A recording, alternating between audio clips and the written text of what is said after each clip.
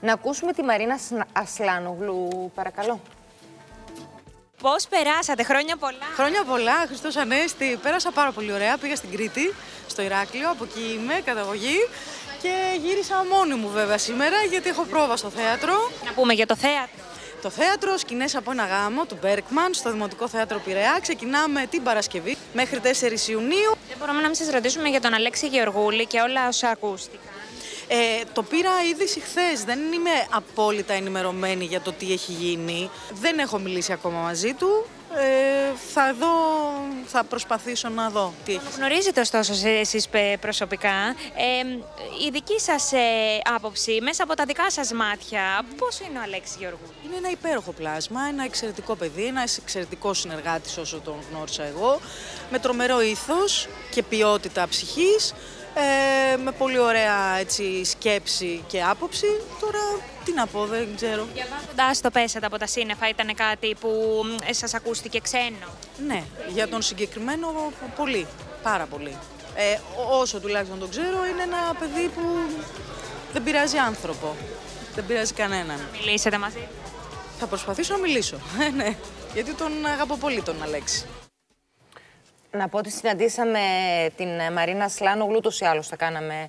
Ε, επέστρεφε η γυναίκα από τις διακοπές της, δεν περίμενε να γίνει συγκεκριμένη ερώτηση. Ε, έγινε η ερώτηση και απάντησε με αυτόν τον τρόπο. Ναι, και σέβομαι απόλυτα και τη γυναίκα και την τοποθέτησή της και εκτιμώ πολύ ότι λέει πώς έχει γνωρίσει έναν άνθρωπο. Και αυτό το κρατάμε και το σεβόμαστε. Αυτόν τον άνθρωπο γνώρισε.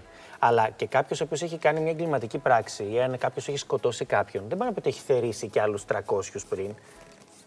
Ναι, σωστά. Άγγελε, θέλω να πω κάτι, συγγνώμη, γιατί δεν έχω μιλήσει δύο θέλω μέρες. να- Ναι, μόνο, μόνο αυτό, Νίκο, μου εγώ ήθελα να Αλλά σημειώσω. δεν είναι, η ότι γυναίκα δεν είναι κατέθεση στο όταν έχεις δικαστήριο. κάνει μια εγκληματική συμπεριφορά. δεν- Μα δεν είπα. Είπα, σεβόμαστε και καλά κάνει και λέει αυτό το οποίο έχει βιώσει Είναι συγκεκριμένη. Αλλά Η δική της γνωριμία, Ακριβώς. η δική της σχέση με τον Αλέξη Γεωργούλη. Ναι, παιδιά, γιατί σε Θεωρώ προηγούμενες ότι θα περιπτώσεις- έπρεπε λίγο να πάει και στην άλλη πλευρά. Ναι, έχω πέσει από τα σύννεφα, δεν το περίμενα.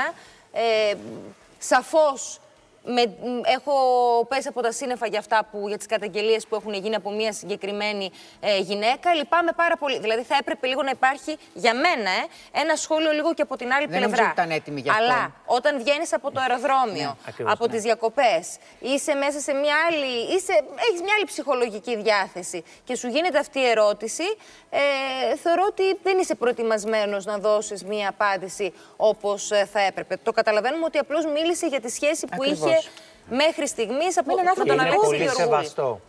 Ναι. Θα έπρεπε να υπάρχει βέβαια για μένα και λίγο από την άλλη για, το, Ισορροπία για τις εννοείς. καταγγελίες. Ναι.